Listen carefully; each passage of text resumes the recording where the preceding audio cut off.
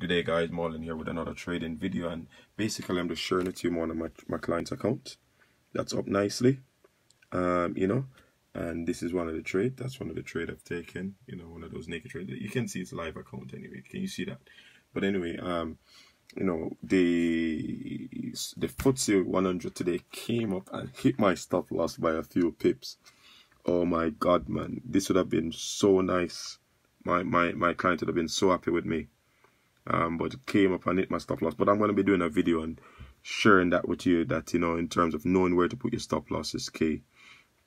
You know, but just one of those things in life, you know, um, I know my strategy works. So even if the trade is a loser, I know, and all I'm going to do now, guys, I'm just going to trail my stop. so I'm going to look at, look at the, look at the trail, look at how we do the trail. So we're going to take this now. And we're going to just take some of the profit like that. Bam. God bless. Peace out.